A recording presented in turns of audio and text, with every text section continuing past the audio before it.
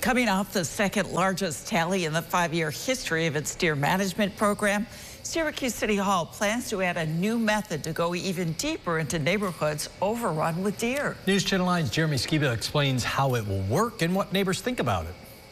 Mike Becker and his family enjoy watching deer roam through their yard. But on Standish Drive, he says there are just too many. What people don't realize are the amount of deer that we have. So there was one day we had 12 go through. About an hour later, we had 16 go through.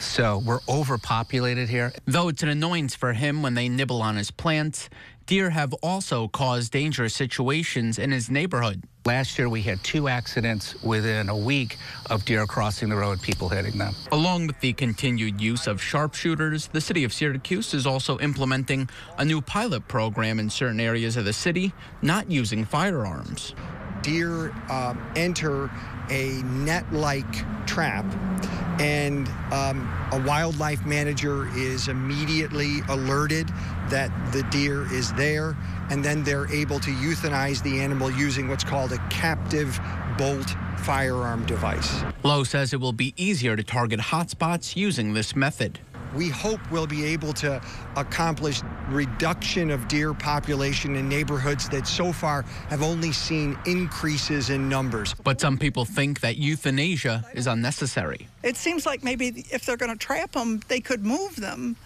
to uh, I don't know, Jamesville Park, you know, Jamesville Beach, some someplace further out in the country. Hoping for a more humane solution to a growing problem. In Syracuse, Jeremy Skiba, News Channel 9.